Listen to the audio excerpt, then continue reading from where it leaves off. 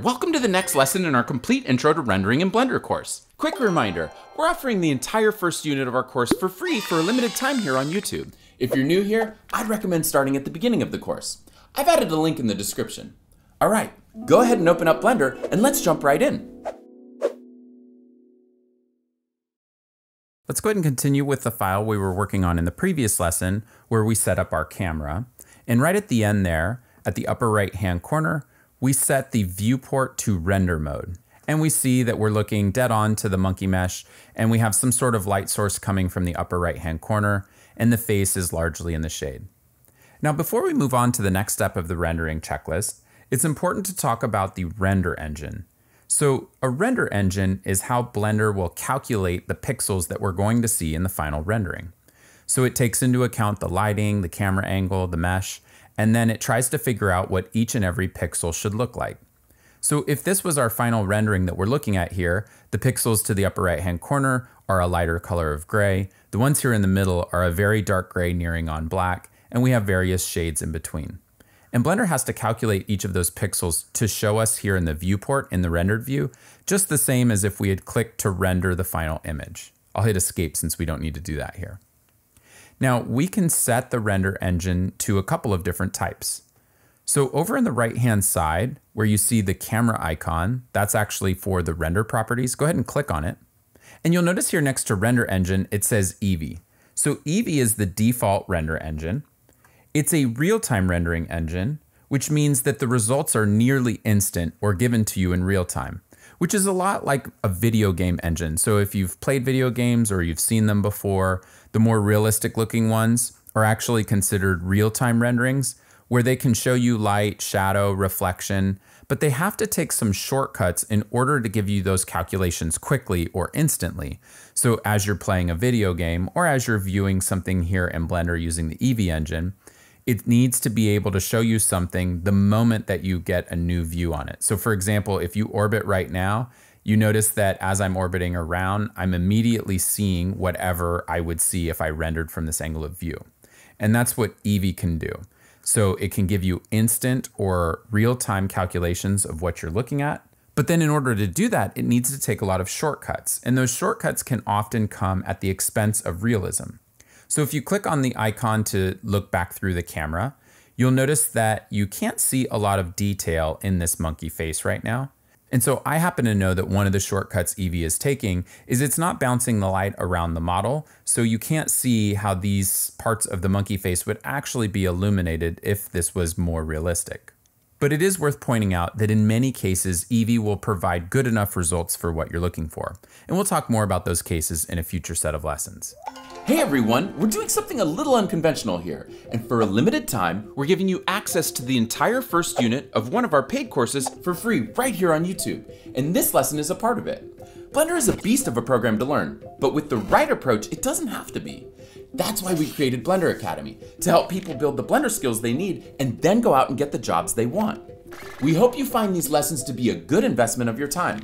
If you do, and you're serious about learning Blender, head over to our website and continue learning with us. Thanks for watching, make sure to like and subscribe, and now, back to the lesson. Now, let's go over to where it says Render Engine, drop down the menu. We're gonna ignore Workbench. That's something that's really just for when we're in working mode. And we're gonna pick Cycles. Go ahead and click on Cycles here. And you'll notice that this re-renders, or it starts to change what it looks like. And at first you see it looks a little bit noisy and pixelated, but actually what's going on with cycles is that because it's a physically based renderer, it's using real world physics to determine as best it possibly can what the realistic result would look like. So you notice that these little pixelated things I can especially see in the ear, they're starting to go away. And what's happening is Blender renders the image and then re-renders it and re-renders it and re-renders it again and it's constantly refining the rendering so that anything that looks noisy and pixelated gets smoother and smoother and smoother as it calculates exactly how the light would bounce around the model and illuminate and then change the color of certain pixels in the final image. And so one of the things we can see is we picked up some detail in this left ear. We see some more detail around the eye sockets, the mouth. I can even barely make out that there's some sort of a nose here. So with cycles, we're going to get something that's higher quality, more realistic, but it comes at the expense of time. So while we saw this result fairly quickly here, this is a really simple model. And what will happen on more complicated things is that cycles will take a longer time to render it. Not only here in the viewport, but when we go to render and render our image, cycles will take far longer than Eevee to create the same image. Again, it'll be higher quality and more realistic, but it will come at the expense of much more time. I'll hit the escape key here on my keyboard. We don't need to render this image right now.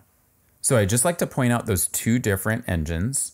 For the purposes of this example, we're going to use cycles because I really want to touch on some of the more realistic qualities that we can produce using the cycles render engine. But it is worth noting if you're on a slower computer or you're working on a different project and just following along with these lessons, if cycles starts to bog you down, so as you orbit around, notice how this gets really pixelated and kind of jumps around.